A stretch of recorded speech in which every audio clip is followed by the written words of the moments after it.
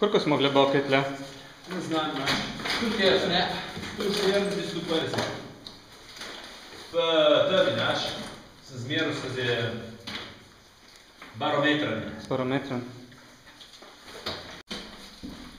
To brezno je prvo malo več široko, ne? Upajmo, da bo hmaljeno na drugo zdole.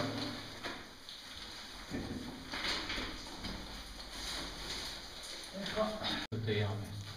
Ja, tudi kapniki. Tudi kapniki, zelo korozijsko vidi. Taki krokodili. Ja, pa je vse razjeto.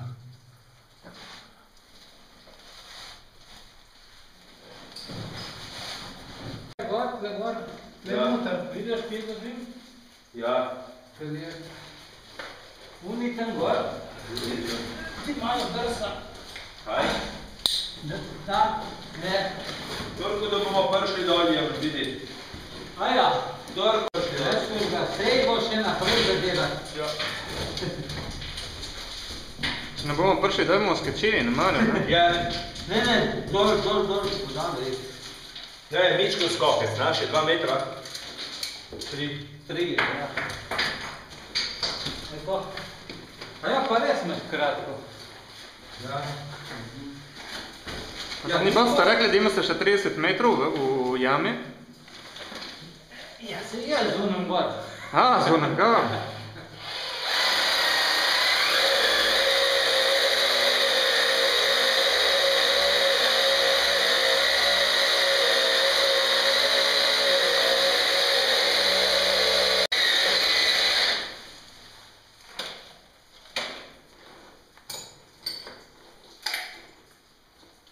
Ben, ben, dej, če se gre skozi, je dobro, ne? Odlično bo. Ano, žino na dan je dobro. Ne, ne, ne, to bo blizu, blizu gor bo.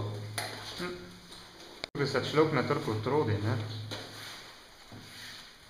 Kje bomo opremili brez uponke, Ja. da bo daljše.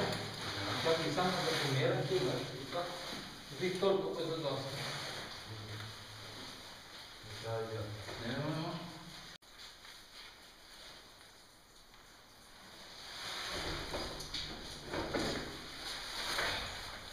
Jaz obrnem uno na dol, na Kaj? široko tam dol.